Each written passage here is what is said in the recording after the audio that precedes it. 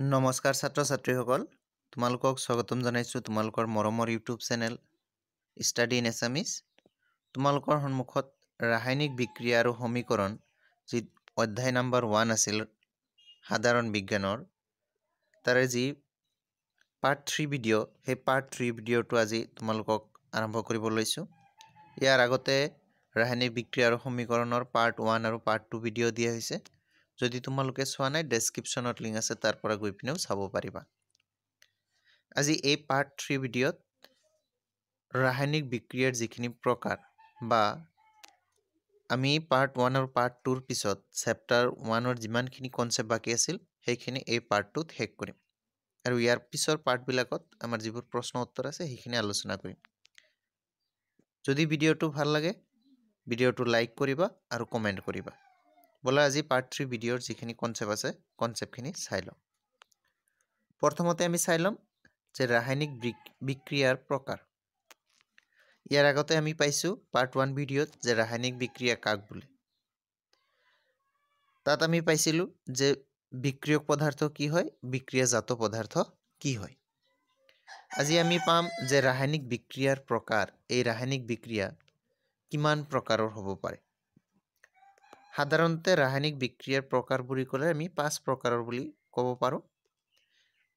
কিন্তু ৰাসায়নিক বিক্ৰিয়াৰ প্ৰকাৰৰ কোনো লিমিট নোহোৱা। যেনেকুৱা ধৰি লোৱা এঘাৰ প্ৰকাৰৰ ৰাসায়নিক বিক্ৰিয়াৰ বিষয়ে আমাৰ এই চেপ্টাৰ ওৱানত পঢ়িব লাগিব। সেই এঘাৰ প্ৰকাৰৰ ৰাসায়নিক বিক্ৰিয়াবোৰ হ'ল নম্বৰ ওৱানত থাকিব সংযোজন বিক্ৰিয়া নম্বৰ টুত থাকিব বিযোজন বিক্ৰিয়া নম্বৰ থ্ৰী থাকিব অপহৰণ বিক্ৰিয়া নম্বৰ ফ'ৰ হ'ল দ্বি অপহৰণ বিক্ৰিয়া নাম্বাৰ ফাইভ জাৰণ বিক্ৰিয়া নাম্বাৰ ছিক্স বিজাৰণ বিক্ৰিয়া ৰেডক্স বা জাৰণ বিজাৰণ বিক্ৰিয়া। তাৰপিছত তাপবৰ্জী বিক্ৰিয়া তাপগ্ৰাহী বিক্ৰিয়া তাপীয় বিযোজন বিক্ৰিয়া আৰু অধক্ষেপণ বিক্ৰিয়া। এই যিমানকেইটা বিক্ৰিয়াৰ প্ৰকাৰ আছে এই গোটেইকেইটা বিক্ৰিয়াৰ প্ৰকাৰ কাক বোলে আৰু ইহঁতৰ উদাহৰণ আমি চাব লাগিব আৰু এইবোৰ ইম্পৰ্টেণ্ট হয় তোমালোকৰ পৰীক্ষাৰ কাৰণে আৰু তোমালোকৰ ভৱিষ্যতে এইবোৰ দৰকাৰ হ'ব। প্ৰথমে আমি সংযোজন বিক্ৰিয়া যি আছে তাৰ বিষয়ে চাম। সেইকাৰণে আমি চাব লাগিব যে সংযোজন বিক্ৰিয়া কি বা সংযোজন বিক্ৰিয়া বুলিলে কি বুজা। এতিয়া ধৰি লোৱা কোনো এটা ৰাসায়নিক বিক্ৰিয়া হৈ আছে য'ত দুটা বা তাতোকৈ বেছি ভালকৈ চাবা কোনো এটা ৰাসায়নিক বিক্ৰিয়া হৈ আছে আৰু বিক্ৰিয়াৰ কাৰ্চিনৰ বাওঁফালে থাকে বিক্ৰিয়ক পদাৰ্থ ইয়াত দুটা বা তাতোকৈ বেছি আছে পদাৰ্থ। আৰু এইখিনি হ'ল বিক্ৰিয়ক পদাৰ্থ।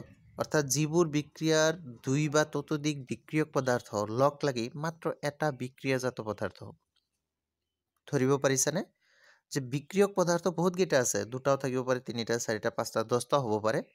তাৰ পৰা এইবোৰ বিক্ৰিয়া কৰি মাত্ৰ এটা বিক্ৰিয়াজাত পদাৰ্থ উৎপন্ন হ'ব লাগিব। তাকে সংযোজন বিক্ৰিয়া বুলি কোৱা হ'ব। সংযোজন মানে সংযোগ হোৱা যোগ হোৱা।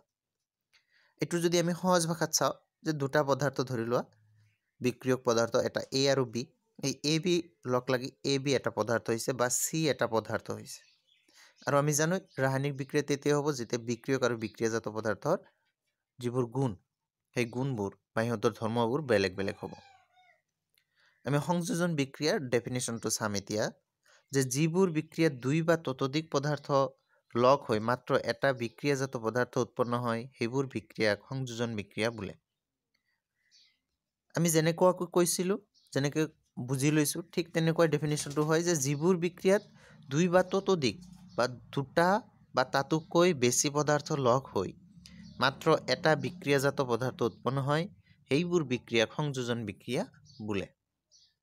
ইয়াৰ উদাহৰণ চাই লোৱা যেনে মেগনেছিয়াম দহন আমি ইয়াৰ আগত বহুতবাৰ পাইছোঁ যে মেগনেছিয়ামৰ দহন মেগনেছিয়াম দহন কৰিলে মেগনেছিয়ামে বিক্ৰিয়া কৰিলে মেগনেছিয়াম অক্সাইড হয়। বা অক্সিজেনৰ লগত যেতিয়া বিক্ৰিয়া কৰে মেগনেছিয়াম অক্সাইড হয় এইটো।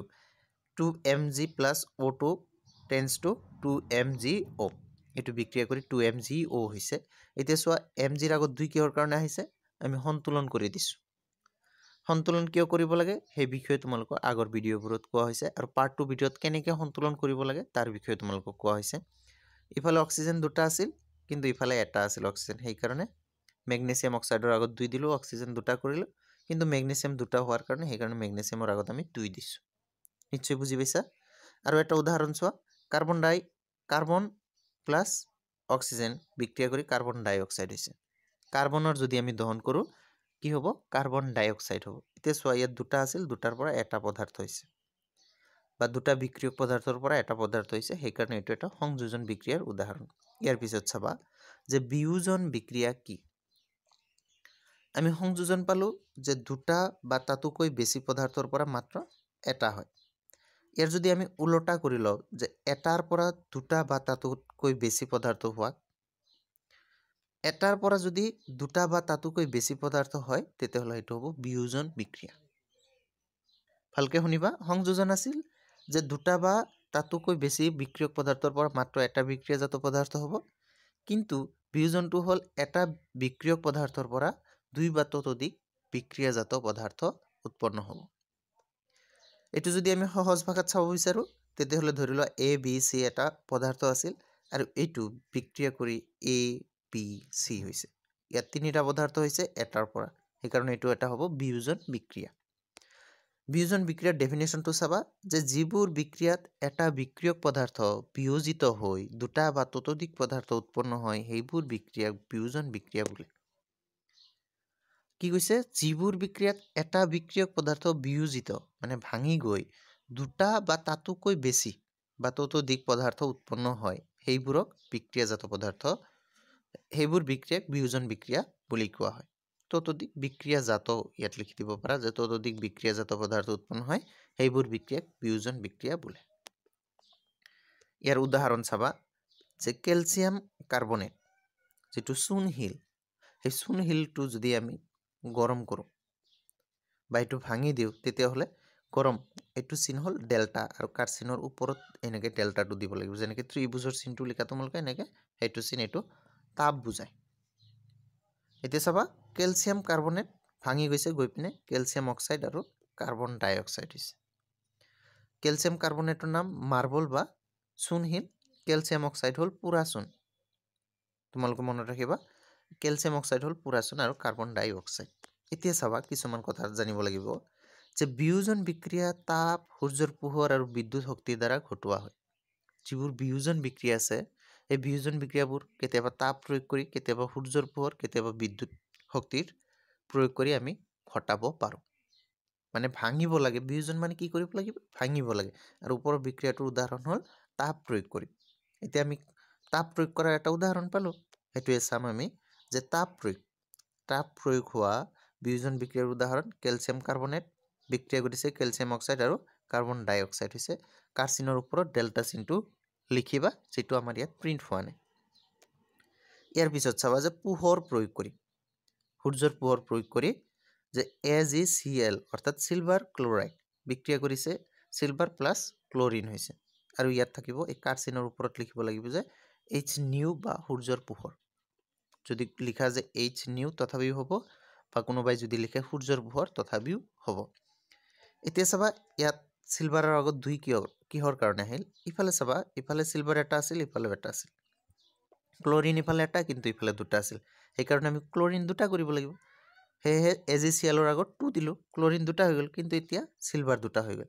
সেইকাৰণে আমি চিলভাৰৰ আগত দুই দিছোঁ। যিসকলে এতিয়াও সন্তুলন কৰিব নাজানা পাৰ্ট টু ভিডিঅ'টো ভালকৈ চাবা তাত মই বহুত ভালকৈ এক্সপ্লেনেশ্যনটো দিছোঁ তোমালোকে নিশ্চয় বুজি পাবা। তাৰপিছত চাবা যে বিদ্যুৎ প্ৰয়োগ কৰি বিদ্যুৎ অৰ্থাৎ ইলেক্ট্ৰিচিটি প্ৰয়োগ কৰি কেনেকৈ আমি বিয়োজন বিক্ৰিয়া ঘটাব পাৰোঁ যে পানী যিটো আছে ৱাটাৰ এইটো যদি আমি বিদ্যুৎ প্ৰয়োগ কৰি ইয়াৰ ওপৰত লিখি দিব লাগিব বিদ্যুৎ। বিদ্যুৎটো আমি ওপৰত লিখি দিব লাগিব কাৰ চিনৰ ওপৰত মনত ৰাখিবা। আৰু তোমালোকৰ? সুবিধাৰ কাৰণে কিতাপ চাব পাৰা কিতাপতো তোমালোকৰ এনেকৈ অলপ ডাঙৰকৈ কাৰ চিন আছে ইয়াত সৰুকৈ হৈছে। ওপৰত বিদ্যুৎ বুলি লিখি দিয়া হয়। যে পানীৰ পানীৰ যদি আমি বিয়োজন কৰোঁ বা পানীৰ যিটো আমি বিদ্যুৎ কাৰেণ্টৰ মাজেৰে দিওঁ তেতিয়াহ'লে হাইড্ৰজেন আৰু অক্সিজেন হ'ব। এতিয়া এইচ টু অ' ইয়াত হাইড্ৰজেন দুটা আছে অক্সিজেন এটা আছে। এতিয়া হাইড্ৰজেন দুটা ইফালে হাইড্ৰজেন দুটা কিন্তু ইফালে অক্সিজেন দুটা। সেইকাৰণে অক্সিজেন ইফালেও দুটা কৰিব লাগিব সেইকাৰণে দুই দিছোঁ। কিন্তু হাইড্ৰজেন চাৰিটা হৈ যাব সেইকাৰণে ইয়াত আকৌ দুই দিছোঁ। মই আকৌ কৈছোঁ সন্তুলনৰ কাৰণে তোমালোকে পাৰ্ট টু ভিডিঅ'টো ভালকৈ চাই ল'বা। ইয়াৰ পিছত চোৱা তাপীয় বিযোজন বিক্ৰিয়া কাক বোলে বা বিয়োজন বিক্ৰিয়া কাক বোলে বা কি? ইয়াৰ আগতে আমি পালোঁ যিবোৰ বিয়োজন বিক্ৰিয়াত তাপ প্ৰয়োগ ঘটোৱা হয় বা কিছুমান বিয়োজন বিক্ৰিয়া আছে তাপ প্ৰয়োগ কৰি ঘটোৱা হয়। আৰু যিবোৰ বিয়োজন বিক্ৰিয়া তাপ প্ৰয়োগ কৰি ঘটোৱা হয় সেইবোৰক তাপীয় বিয়োজন বিক্ৰিয়া বুলি কোৱা হয়। আকৌ ভালকৈ শুনিবা যে যিবোৰ বিয়োজন বিক্ৰিয়া তাপ প্ৰয়োগ কৰি ঘটোৱা হয় সেইবোৰক তাপীয় বিয়োজন বিক্ৰিয়া বুলি কোৱা হয়।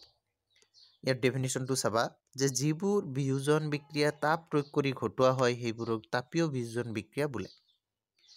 যিবোৰ বিয়োজন বিক্ৰিয়া তাপ প্ৰয়োগ কৰি ঘটোৱা হয় সেইবোৰক তাপীয় বিয়োজন বিক্ৰিয়া বোলে। আৰু ইয়াৰ আগতে তোমালোকক উদাহৰণ মই দিছোঁৱে যে কেলছিয়াম কাৰ্বনেটক আমি তাপ দিলে কেলছিয়াম অক্সাইড আৰু কাৰ্বন ডাই অক্সাইড হয়। তোমালোকৰ সুবিধাৰ কাৰণে এটা উদাহৰণে বাৰে বাৰে মই ৰিপিট কৰি আছোঁ যাতে তোমালোকে পৰীক্ষাত লিখাত সহজ হয়। তাৰপিছত চাবা যে অপহৰণ বিক্ৰিয়া কি? অপহৰণ নামটোতে তোমালোকে গম পাই আছা যে হৰণ কৰা মানে গুচাই দিয়া। ধৰি লোৱা ইয়াত এটা পদাৰ্থ আছে আৰু ইয়াৰ লগত আৰু এটা ইফালে পদাৰ্থ আছে। বা এইটো বি চি পদাৰ্থই ধৰি লৈছোঁ। এই এ পদাৰ্থটোৱে যদি ইয়াৰ পৰা কোনোবা এটা পদাৰ্থ গুচাই দিব পাৰে অপহৰণ মানে অপহাৰিত কৰি দিব পাৰে তাকে আমি অপহৰণ বিক্ৰিয়া বুলি ক'ম। আৰু এটা পদাৰ্থই আন এটা পদাৰ্থক যদি অপহাৰিত কৰিব লাগে তেতিয়াহ'লে সেই পদাৰ্থটোতকৈ এই পদাৰ্থটো কি হ'ব লাগিব? বেছি সক্ৰিয় হ'ব লাগিব। আৰু সক্ৰিয়তা ক্ৰম আমি জানিবলৈ হ'লে তোমালোকৰ যিটো পাঁচ নম্বৰ চেপ্টাৰ আছিল পৰ্যাবৃত্ত তালিকা সেই চেপ্টাৰটো তোমালোকে ভালকৈ জানিব লাগিব। লগতে মই তোমালোকক এটা সক্ৰিয়তা ক্ৰম ধাতুবিলাকৰ সক্ৰিয়তা ক্ৰম লিখি দিম। সেইটো তোমালোকক তিনি নম্বৰ চেপ্টাৰত লিখি দিম। সেইটো মনত ৰাখিবা। সেইটো আমি এটা সহজ ট্ৰিক লগাই দিম যাৰ দ্বাৰা তোমালোকে মনত ৰাখিব পাৰিবা। এতিয়া অপহৰণ বিক্ৰিয়াটো বুজি লোৱা যে ধৰি লোৱা A plus B C A এটা মৌল আৰু বি চি এটা যৌগ। যদি এই এ মৌল এই বি চি যৌগৰ পৰা কোনো এটা মৌলক ভালকৈ মনত ৰাখিব। এই যৌগৰ পৰা কোনোবা এটা মৌলক যদি অপহাৰিত কৰিব পাৰে তেতিয়াহ'লে তাক অপহৰণ বিক্ৰিয়া বুলি কোৱা হ'ব। মানে এটা মৌলই আন এটা যৌগৰ পৰা আন এটা মৌলক অপহাৰিত কৰিব লাগিব। আৰু যিটোৱে অপহাৰিত কৰিব সেইটো হ'ব বেছি সক্ৰিয় আৰু যাক অপহাৰিত কৰিব সি হ'ব তাতকৈ কম সক্ৰিয়। ইয়াৰ ডেফিনেশ্যনটো চাবা যে যি বিক্ৰিয়াত এটা সক্ৰিয় মৌলই কি কৈছে? যি বিক্ৰিয়াত এটা সক্ৰিয় মৌলই আন এটা কম সক্ৰিয় মৌলক তাৰ যৌগৰ পৰা অপহাৰিত কৰে তেনে বিক্ৰিয়াক অপহৰণ বিক্ৰিয়া বোলে। যে যিবোৰ বিক্ৰিয়াত এটা সক্ৰিয় মৌলই বা অধিক সক্ৰিয় মৌলই আন এটা কম সক্ৰিয় মৌলক তাৰ যৌগৰ পৰা গুচাই দিব পাৰে অপহাৰিত কৰিব পাৰে তেনে বিক্ৰিয়াক অপহৰণ বিক্ৰিয়া বুলি কোৱা হয়। নিশ্চয় বুজি পাইছা তোমালোকে? ইয়াৰ উদাহৰণটো চোৱা যে জিংক যেতিয়া কপাৰ ছালফেটৰ লগত বিক্ৰিয়া কৰিব জিংক ছালফেট আৰু কপাৰ উৎপন্ন হ'ব।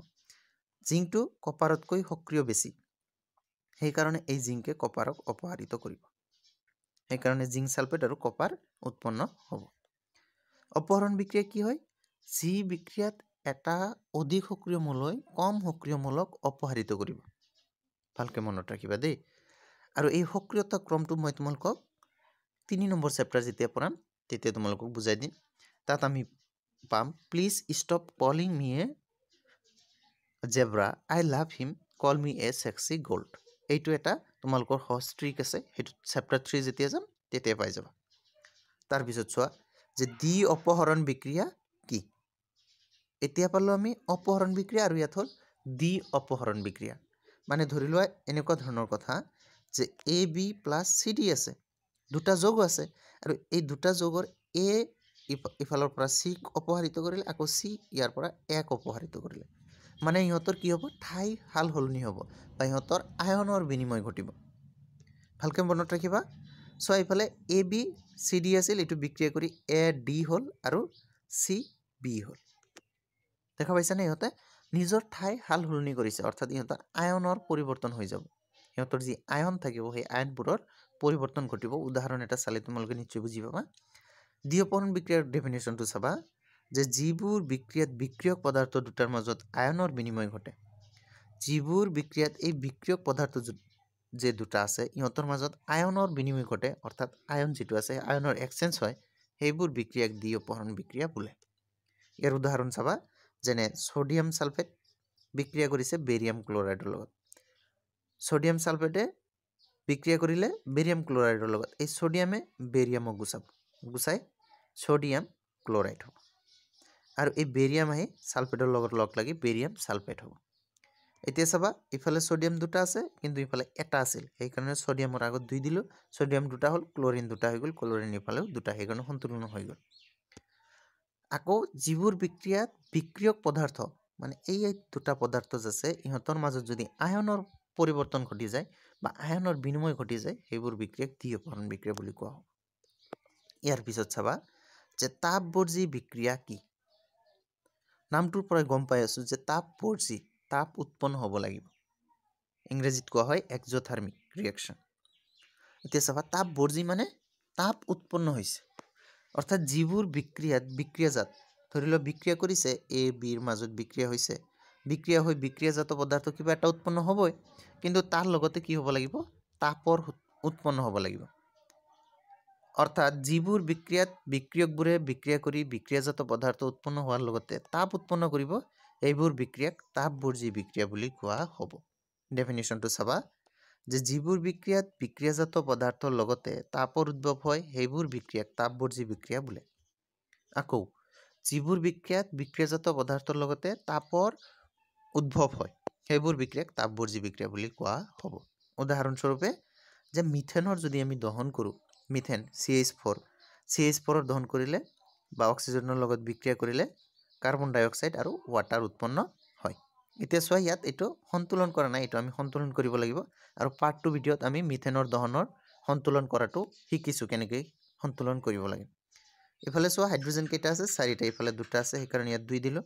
হাইড্ৰজেন চাৰিটা হওক অক্সিজেন ইফালে দুটা আৰু ইফালে দুটা চাৰিটা হৈ যাব সেইকাৰণে আমি অক্সিজেনৰ আগত দুই দিব লাগিব। অৰ্থাৎ এইটো আমি যদি লিখোঁ কেনেকৈ লিখিব লাগিব? যে C H four two O' two বিক্ৰিয়া কৰি কাৰ্বন ডাই অক্সাইড হৈছে আৰু টু এইচ টু অ' ইফালে থাকি গ'ল ইফালে কাৰ্বন ডাই অক্সাইড আৰু ইফালে টু অ' টু আৰু ইফালে চি এইচ ফ'ৰ। বুজি পাইছানে? ইয়াৰ পিছত চাবা ইয়াৰ পিছত যিখিনি আছে সেইটো হ'ল তাপগ্ৰাহী বিক্ৰিয়া। তাপবৰ্জী বিক্ৰিয়া পালোঁ। তাপবৰ্জী মানে তাপ উৎপন্ন হয়। তাপগ্ৰাহী মানে তাপ শোষণ হ'ব। যিবোৰ বিক্ৰিয়া তাপ শোষণ হৈ যাব সেইবোৰ বিক্ৰিয়াক তাপগ্ৰাহী বিক্ৰিয়া বুলি ক'ব। য'ত তাপ উৎপন্ন হ'ব সেইটো হ'ব তাপবৰ্জী। আৰু য'ত তাপটো খাই দিব মানে সিহঁতে শোষণ কৰি ল'ব শোষিত হ'ব সেইটোক ক'ব তাপগ্ৰাহী বিক্ৰিয়া। ভালকৈ মনত ৰাখিবা পৰীক্ষাত আহিয়ে থাকে যে যিবোৰ বিক্ৰিয়াত তাপটো শোষণ হয় খাই দিয়ে বা লৈ লয় বিক্ৰিয়কবোৰে সেইবোৰক তাপগ্ৰাহী বিক্ৰিয়া বুলি কোৱা হয় ডেফিনিশ্যনটো চাবা। যে যিবোৰ বিক্ৰিয়াত তাপ শোষিত হয় সেইবোৰ বিক্ৰিয়াক তাপগ্ৰাহী বিক্ৰিয়া বোলে। যিবোৰ বিক্ৰিয়াত তাপ শোষিত হয় সেইবোৰ বিক্ৰিয়াক তাপগ্ৰাহী বিক্ৰিয়া বুলি কোৱা হয়। যেনেকুৱা যে nitrogen plus oxygen nitrogen oxide. Nitrogen di নহয় নাইট্ৰজেন অক্সাইড এন অ' ইফালে নাইট্ৰজেন দুটা ইফালে এটা আছিল দুই দিলোঁ। অক্সিজেন দুটা হ'ল ইফালেও দুটা। সেইকাৰণে এইটো সন্তুলন হৈ গৈছে। অৰ্থাৎ যিবোৰ বিক্ৰিয়াত আমি তাপটো শোষণ হৈ যাব বা তাপ শোষিত হয় সেইবোৰ বিক্ৰিয়াক তাপগ্ৰাহী বিক্ৰিয়া বুলি কোৱা হ'ব। এইটো এটা উদাহৰণ তাৰ। তাৰপিছত চাবা যে অধক্ষেপণ বিক্ৰিয়া কি?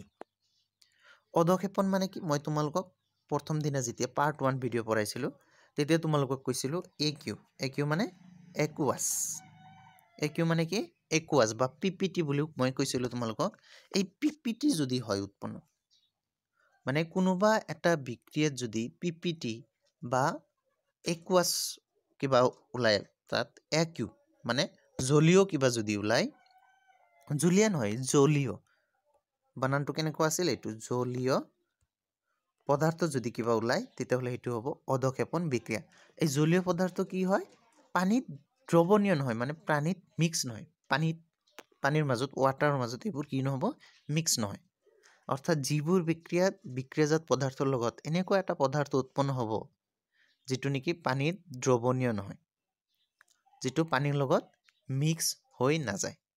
তেনেকুৱা যদি পদাৰ্থ উৎপন্ন হয় তেতিয়াহ'লে তাক অধক্ষেপণ বিক্ৰিয়া বুলি কোৱা হ'ব। ডেফিনিশ্যনটো চাবা যে যিবোৰ বিক্ৰিয়াত বিক্ৰিয়াজাত পদাৰ্থত এটা অদ্ৰৱণীয় যৌগৰ উৎপন্ন হয়। কি কৈছে? যে যিবোৰ বিক্ৰিয়াত বিক্ৰিয়াজাত পদাৰ্থত বিক্ৰিয়াজাত যিবোৰ পদাৰ্থ হৈছে পদাৰ্থত এটা অদ্ৰৱণীয় যৌগৰ উৎপন্ন হয় তেনে বিক্ৰিয়াক অধক্ষেপণ বিক্ৰিয়া বোলে। অৰ্থাৎ যিবোৰ বিক্ৰিয়াত বিক্ৰিয়াজাত পদাৰ্থ এটা উৎপন্ন হৈছে কিন্তু তাৰ লগতে এটা অদ্ৰৱণীয় মানে পানীৰ লগত মিক্স নোহোৱা বা তাত মিক্স নোহোৱা একেবাৰে মিহলি নোহোৱা পদাৰ্থ এটা উৎপন্ন হৈছে তাক সেই তেনেবোৰ বিক্ৰিয়াক অধক্ষেপণ বিক্ৰিয়া বুলি কোৱা হ'ব। উদাহৰণটো চাবা যে কপাৰ বিক্ৰিয়া কৰিছে চিলভাৰ নাইট্ৰেটৰ লগত। বিক্ৰিয়া কৰি copper nitrate plus silver silver উৎপন্ন হৈছে।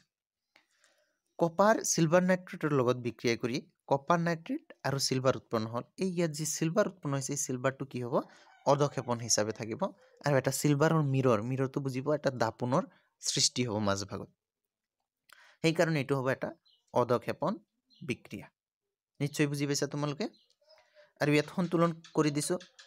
নাইট্ৰজেন দুটা আছে বা অক্সিজেন ইয়াত ছয়টা আছে। ইফালে অক্সিজেন ছয়টা বনাই দিছোঁ চিলভাৰ দুটা হৈ গ'ল। ইফালে ইফালে অলপ সন্তুলন হোৱা নাই চোৱা। ক'ত সন্তুলনটো হোৱা নাই যে চিলভাৰ ইফালে দুটা আছে কিন্তু ইফালে এটা হৈ আছে সেইকাৰণে চিলভাৰ আগত দুই দিব লাগিব। চিলভাৰৰ আগত দুই দিলে এতিয়া সন্তুলন হৈ গৈছে। কেতিয়াবা কেতিয়াবা অলপ প্ৰিণ্ট মিষ্টেক হ'বও পাৰে যিহেতু লিখোঁতে কেতিয়াবা কেতিয়াবা মানে পাহৰি যোৱা যায়। সেইকাৰণে যদি তোমালোকে কোনোবা ঠাইত কিবা অলপ ভুল দেখা পোৱা তেতিয়াহ'লে নিজে নিজে অলপ শুধৰাই ল'বা। কাৰণ তোমালোকক সন্তুলন কৰা মই শিকাই দিছোঁ কেনেকৈ সন্তুলন কৰিব লাগে। আৰু তোমালোকে এই চেপ্টাৰবোৰ লাহে লাহে পঢ়িবা আৰু কেমেষ্ট্ৰিখিনি মানে যিমানখিনি আমি চেপ্টাৰ আছে ধুনীয়াকৈ ভালকৈ বুজি পাব পাৰোঁ আৰু ভালকৈ নম্বৰ উঠাব পাৰোঁ পৰীক্ষাত। ইয়াৰ পিছত চাবা যে জাৰণ বিক্ৰিয়া কি হয়। কি বিক্ৰিয়া এইটো? জাৰণ বিক্ৰিয়া। আমি ইয়াৰ আগতে পাৰ্টটো যেতিয়া পাইছিলোঁ তেতিয়া মই কৈছিলোঁ যে জাৰণ বিক্ৰিয়াটো তোমালোকক পিছত বা জাৰিত শব্দ এটা কৈছিলোঁ যে পিছত পঢ়াম। এতিয়া চোৱা জাৰিত মানে কি বা জাৰণ মানে কি? ধৰি লওক পদাৰ্থ এ এটা আছে আৰু এই পদাৰ্থটোৰ লগত অক্সিজেন যোগ হ'ল। ইয়াৰ লগত কি যোগ হৈ গৈছে? অক্সিজেন। যোগ হৈ কিবা এটা অক্সাইড উৎপন্ন হ'ল। ধৰি লোৱা এ অ' উৎপন্ন হৈ গ'ল। কোনো এটা বিক্ৰিয়ক পদাৰ্থই যদি অক্সিজেন লাভ কৰে তেতিয়াহ'লে তাক বা তেনে বিক্ৰিয়াক জাৰণ বিক্ৰিয়া বুলি কোৱা হ'ব। বা যিবোৰ বিক্ৰিয়াত বিক্ৰিয়ক পদাৰ্থ এটাই অক্সিজেন লাভ কৰে তেনে বিক্ৰিয়াক কি বুলি কোৱা হয়? জাৰণ বিক্ৰিয়া। যদি অক্সিজেন লাভ নকৰে যদি আকৌ হাইড্ৰজেন হেৰুৱাই দিয়ে। হাইড্ৰজেন কি হয়? হেৰুৱাই। কিবা এটা বিক্ৰিয়া হৈছে য'ত নেকি হাইড্ৰজেনটো মল চৰি যৌগ এটাই হাইড্ৰজেনটো গুচাই দিছে বা সিহঁতে হেৰুৱাই পেলাইছে তেনেবোৰ বিক্ৰিয়াকো কি বুলি কোৱা হ'ব? জাৰণ বিক্ৰিয়া। অক্সিজেন পালে সেইটো হ'ব জাৰণ আৰু যদি হাইড্ৰজেন গুচি যায় সেইটো হ'ব জাৰণ বিক্ৰিয়া। ভালকৈ মনত ৰাখিবা যে এডিশ্যন অফ অক্সিজেন অক্সিজেনৰ যুগ কিন্তু ৰিমুভেল ৰিমুভেল মানে গুচি যোৱা হাইড্ৰজেন যদি হেৰাই যায় তেতিয়াহ'লে এইটো কি হ'ব? জাৰণ বিক্ৰিয়া হ'ব। ইয়াৰ ওলোটা যদি আমি চাওঁ বিজাৰণ বিক্ৰিয়া হ'ব। বিজাৰণ কি হ'ব? যে ৰিমুভেল অফ অক্সিজেন যে অক্সিজেন হেৰুৱাই যায় আৰু এডিশ্যন অফ হাইড্ৰজেন আৰু হাইড্ৰজেন যোগ হয়। অৰ্থাৎ যিবোৰ বিক্ৰিয়াত অক্সিজেন যোগ হ'ব সেইটো হ'ব জাৰণ আৰু যিবোৰ বিক্ৰিয়াত অক্সিজেন হেৰুৱাব সেইটো হ'ব বিজাৰণ। যিটো বিক্ৰিয়াত হাইড্ৰজেন হেৰুৱাব সেইটো হ'ব জাৰণ। যিটো বিক্ৰিয়াত অক্সিজেন লাভ কৰিব সেইটো হ'ব বিজাৰণ। এতিয়া চাবা ডেফিনেশ্যন জাৰণ বিক্ৰিয়াৰ। যে যিবোৰ বিক্ৰিয়াত বিক্ৰিয়ক পদাৰ্থ এটাই অক্সিজেন লাভ কৰে বা হাইড্ৰজেন হেৰুৱাই সেইবোৰ বিক্ৰিয়াক জাৰণ বিক্ৰিয়া বোলে। এতিয়া পৰীক্ষাত যদি কয় অক্সিজেনৰ সৈতে ডেফিনেশ্যন ক'ব লাগে তেতিয়াহ'লে অক্সিজেন লৈ লিখিবা। আৰু যদি কয় অক্সিজেন বা হাইড্ৰজেন হাইড্ৰজেনৰ কথা কয় তেতিয়াহ'লে হাইড্ৰজেনৰ কথাটো লিখি দিবা। অৰ্থাৎ পৰীক্ষাত লিখিব লাগিব যিবোৰ বিক্ৰিয়াত বিক্ৰিয়ক পদাৰ্থ এটাই অক্সিজেন লাভ কৰে বা হাইড্ৰজেন হেৰুৱাই সেইবোৰ বিক্ৰিয়াক জাৰণ বিক্ৰিয়া বোলে। ফৰ এক্সাম্পল উদাহৰণ চোৱা যে copper plus oxygen copper oxide কপাৰক যেতিয়া গৰম কৰা হয় বা দহন কৰা হয় তেতিয়া কপাৰ অক্সাইড হয়। আৰু এই চোৱা কপাৰটোৱে অক্সিজেন লাভ কৰিছে। যিহেতু কপাৰটোৱে অক্সিজেন লাভ কৰিছে সেইটো হ'ব জাৰণ বিক্ৰিয়া। আৰু সন্তুলন কৰি দিছোঁ দুইটো সেইকাৰণে আহিছে। তাৰপিছত এটা উদাহৰণ চোৱা যে এইচ বি আৰ অৰ্থাৎ হাইড্ৰজেন ব্ৰমাইড হাইড্ৰজেন ব্ৰমাইডটো যদি আমি চাওঁ এই হাইড্ৰজেন ব্ৰমাইডৰ পৰা হাইড্ৰজেন আৰু ব্ৰমিন হৈছে। হাইড্ৰজেন ব্ৰমাইডৰ পৰা হাইড্ৰজেন আৰু ব্ৰমিন হ'ল। এই এইচ এইচটো অৰ্থাৎ হাইড্ৰজেন যিটো আছিলে হাইড্ৰজেনটো এইচ বি আৰৰ লগত অৰ্থাৎ হাইড্ৰজেন ব্ৰমাইডৰ পৰা গুচি গৈছে। সেইকাৰণে এইচ বি আৰটো কি হ'ব? জাৰণ ঘটা বুলি কোৱা হ'ব। নিশ্চয় বুজি পাইছা? তাৰপিছত চাবা বিজাৰণ বিক্ৰিয়া কি হয়? বা বিজাৰণ বিক্ৰিয়া কাক বোলে? ইয়াৰ যি ডেফিনেশ্যন তোমালোকক বুজাই দিছোঁ যে অক্সিজেন যদি হেৰুৱাই দিয়ে আৰু হাইড্ৰজেন যদি লাভ কৰে। অক্সিজেন কি কৰিব লাগিব? হেৰুৱাই আৰু হাইড্ৰজেন লাভ কৰিব লাগিব? তেতিয়াহ'লে এইটো কি হ'ব? বিজাৰণ বিক্ৰিয়া হ'ব। ইয়াৰ ডেফিনেশ্যনটো চাবা। যে যিবোৰ বিক্ৰিয়াত বিক্ৰিয়ক পদাৰ্থ এটাই অক্সিজেন হেৰুৱাই বা হাইড্ৰজেন লাভ কৰে যিবোৰ বিক্ৰিয়াত বিক্ৰিয়ক পদাৰ্থ এটাই কি কৰিব? অক্সিজেন হেৰুৱাই দিব বা হাইড্ৰজেন লাভ কৰিব। সেইবোৰ বিক্ৰিয়া কি বুলি ক'ব? বিজাৰণ বিক্ৰিয়া বুলি ক'ব। অক্সিজেন কি কৰিব লাগিব? হেৰুৱাই দিব লাগিব আৰু হাইড্ৰজেনটো কি কৰিব লাগিব? লাভ কৰিব লাগিব। যদি অক্সিজেন গুচি যায় তেতিয়াহ'লে এইটো বিজাৰণ দুটাই হ'ব নালাগে এটা হ'লেই হ'ল। যদি অক্সিজেন গুচি যায় বিজাৰণ হৈ গ'ল। যদি হাইড্ৰজেন লাভ কৰে তেতিয়াহ'লে এইটো কি হৈ গ'ল? বিজাৰণ। যিকোনো এটা হ'লেই হ'ল। নিশ্চয় তোমালোকে ধৰিব পাৰিছা। অক্সিজেন লাভ কৰিলে সেইটো হৈ যাব জাৰণ। যদি অক্সিজেন হেৰুৱাই দিয়ে সেইটো হ'ব বিজাৰণ। কিন্তু কোনো এটা আছে ক'ৰবাত যে হাইড্ৰজেন হেৰুৱাই দিছে তেতিয়াহ'লে জাৰণ। যদি হাইড্ৰজেন লাভ কৰিছে তেতিয়াহ'লে সেইটো হ'ব বিজাৰণ। উদাহৰণ চোৱা যে জিংক অক্সাইড জিংক অক্সাইডটো যদি আমি চাওঁ জিংক অক্সাইডটো গৰম কৰিলে কি হৈছে জিংক আৰু অক্সিজেন বা জিংক অক্সাইডৰ বিয়োজন হৈ জিংক আৰু অক্সিজেন হৈছে এইটো এটা বিজাৰণ বিক্ৰিয়াৰ উদাহৰণ কাৰণ জিংক অক্সাইডে নিজৰ পৰা অক্সিজেনটো হেৰুৱাই পেলাইছে আৰু এটা উদাহৰণ চোৱা যে ক্লৰিন বিক্ৰিয়া কৰিছে এইচ টু এইচ টুৰ লগত হাইড্ৰজেনৰ লগত ক্লৰিনে বিক্ৰিয়া কৰি এইচ চি এল অৰ্থাৎ হাইড্ৰক্লৰিক এচিড উৎপন্ন কৰিছে ইয়াত চোৱা এই ক্লৰিনে হাইড্ৰজেন লাভ কৰিছে সেইকাৰণে এই ক্লৰিনটো কি হৈ যাব?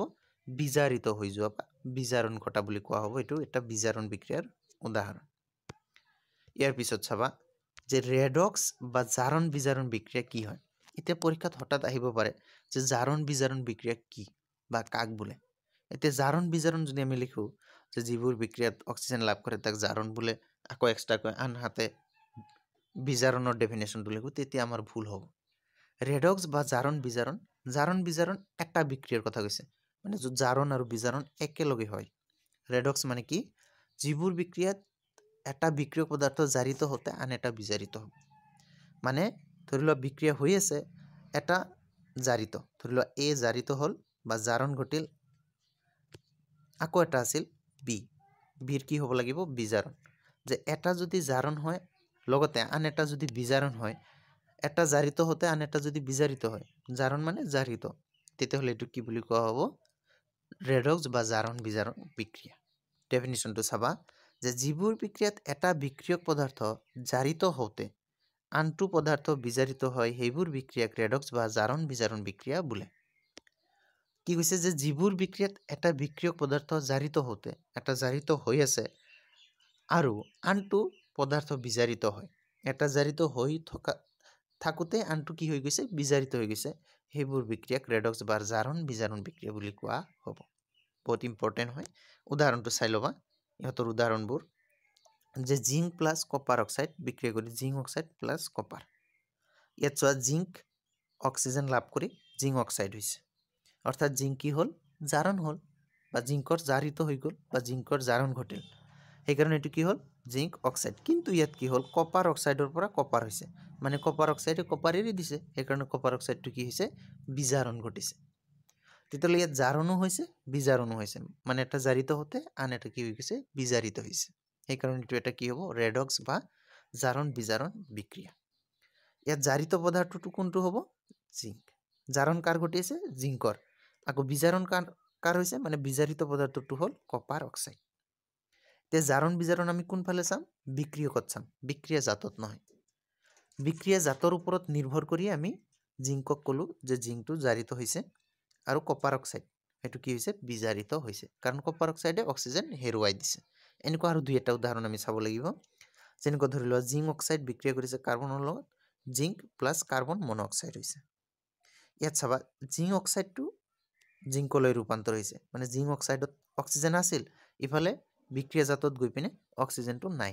মানে জিংকৰ বিজাৰণ ঘটিছে। চৰি জিংক অক্সাইডৰ কি হৈছে? জিংক অক্সাইড যিটো আছে এইটোৰ বিজাৰণ। কিন্তু কাৰ্বন যিটো আছে ইফালে গৈ পিনে অক্সিজেন লাভ কৰিছে। তেতিয়াহ'লে কাৰ্বনৰ কি হ'ল? জাৰণ। অৰ্থাৎ জাৰিত পদাৰ্থটো কাৰ্বন আৰু বিজাৰিত পদাৰ্থটো জিংক অক্সাইড। ইয়াক যদি আমি ঘৰ বনাই লিখোঁ বা এনেকৈও লিখিব পাৰা তোমালোকে মই ঘৰ বনাইছোঁ সুবিধা হ'ব চাওঁতে যে ইয়াত জাৰিত পদাৰ্থটো কোনটো হয়? কাৰ্বন। বিজাৰিত কোনটো জিংক অক্সাইড। কিহৰ কাৰণে জিংক অক্সাইড বিজাৰিত হ'ল? কাৰণ জিংক অক্সাইডৰ পৰা জিংক হৈছে। আৰু কাৰ্বন কিহৰ কাৰণে জাৰিত হ'ল? কাৰ্বনৰ পৰা কাৰ্বন মনঅক্সাইড হৈছে। আৰু কেইটামান উদাহৰণ চোৱা তোমালোকৰ ইয়াৰ পৰা পৰীক্ষাত কুৱেশ্যন আহে।